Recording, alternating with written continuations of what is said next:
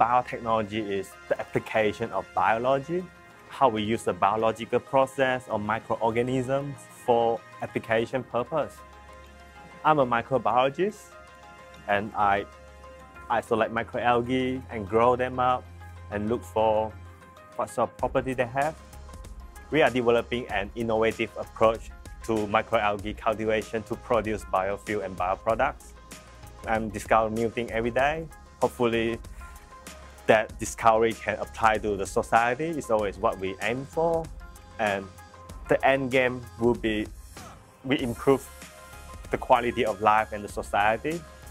If we can grow algae for biofuel, it's good for the renewable and economically, of course, it, we, we generate new industry in Australia.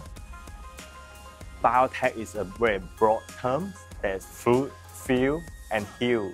Food produced to provide the people and to feel the energy, renewable energy, and a heal medical term like genome sequencing.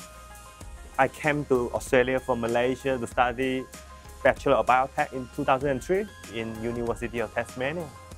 Tasmania is very unique and you get lots of different international scientists here as well.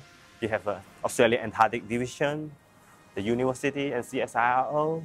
We get a lot of good scientist exposure here and you get a lot of personal relationship with your lecturer and supervisors and it's a nice place to stay. Hopefully we can commercialize this technology. The impact and the output of the research is really rewarding and it makes you feel like you're doing something good for the society and that really rewarding, really what drives you to do, keep doing what we do.